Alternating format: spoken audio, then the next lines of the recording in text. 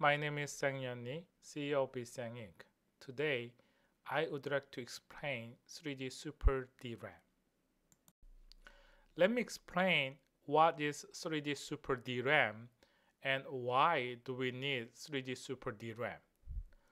Planar DRAM has memory cell array on one side and memory logic circuitry on the other side. 3D Super DRAM stacks cell array on top of memory logic. Therefore, die size becomes small and we could produce more die for wafer. It means 3D Super DRAM is much much cheaper than planar DRAM. 3D Super DRAM reuses proven process flow and device structures being used in planar DRAM. When we compare planar DRAM and 3D Super DRAM, storage capacitor and memory logic circuitry should be the same. The only difference is cell transistor. Planar DRAM normally uses recessed transistor and 3D Super DRAM utilizes vertical SGT. The difference will be discussed. Okay, let me list several challenges associated with planar DRAM. High cell aspect ratio is an important problem. It is growing exponentially as device shrinks. DRAM cell size is 6F square. It is almost fixed parameter at this time. The low leakage current of cell transistor is very important to maintain charges stored in the storage capacitor. Especially leakage current at high temperature is important. Parasitic capacitance between storage capacitor and bit line should be minimized. Also, bit line series resistance should be minimized. The most important and difficult challenge for planar DRAM is the high aspect ratio of storage capacitor. As shown in the graph, the aspect ratio of storage capacitor is growing exponentially as device shrinks. In other words, device scaling of planar DRAM is being extremely difficult. As we understand, DRAM scaling is being slowed down and manufacturing cost is rising abruptly, mainly because of scaling of storage capacitor. So, what do we do with storage capacitor?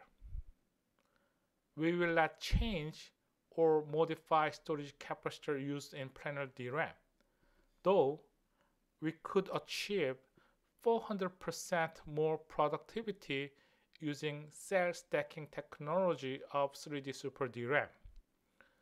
Because storage capacitor is reused, time and multi-billion dollar R&D for the development of new storage capacitor are not required. So fast time to market is enabled. Also, there is no risk involved with advanced storage capacitor development. Again, 3D Super DRAM stacks cell array on top of memory logic and produces 400% more die per wafer using existing storage capacitor. It enables fast time to market and drastically reduces cost for R&D. Let me compare the characteristics of vertical SGT and recessed transistor. Both of them are good for scaling of distance between source and drain in order to minimize source and drain leakage current. Vertical SGT controls gate at all directions, so it has better subthreshold characteristics compared to recessed transistor. At high temperature, it is well known that SOI has about 10 times less junction leakage current. One downside of vertical SGT is that no back bias is available. Overall, both of them work well for minimized leakage current. Here is comparison of parasitics of bit bit line of planar DRAM reduces parasitic capacitance between storage capacitor and bit line.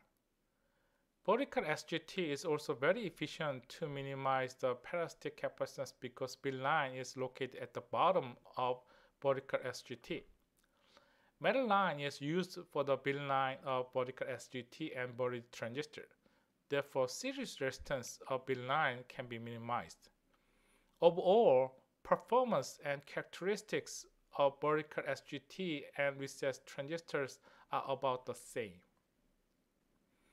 However, vertical SGT is extremely simple compared to recessed transistor.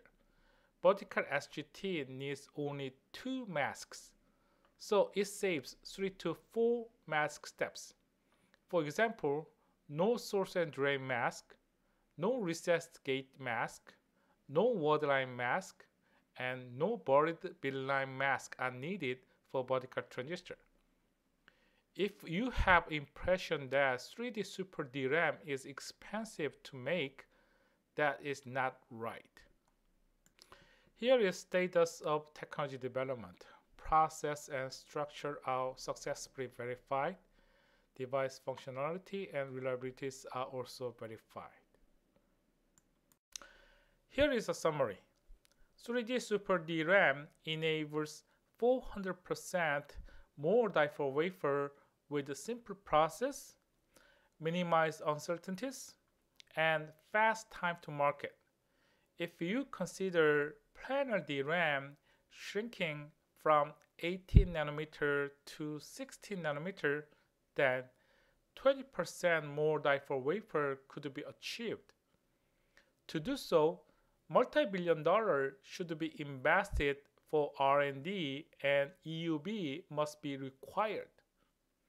In case of 3D Super DRAM, it needs less than $50 million for R&D and no EUV is needed, though it could produce 400% more die for wafer. So, which one is better? It is simple choice, right? Thank you for watching and feel free to let us know your comment.